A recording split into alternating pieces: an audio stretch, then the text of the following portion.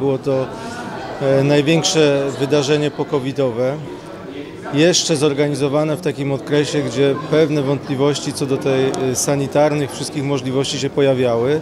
I muszę powiedzieć, że wspólna praca właśnie Politechniki Łódzkiej i rektora Jóźwika, Akademickiego Związku Sportowego, tu całej ekipy kierowanej przez Darka i, i Europejskiej Federacji spowodowały, że mieliśmy no, fantastyczne wydarzenia. Ja się nie waham powiedzieć, chyba najlepsze w, dotyk- w historii EUSY do tej pory. Jeśli byśmy popatrzyli organizacyjnie na te wydarzenia łódzkie i na uniwersjady sprzed około 25 lat, to ja uważam, że jeśli chodzi o poziom usług wszystkich, łącznie z tym poziomem organizacji zawodów sportowych, to on w zasadzie był podobny.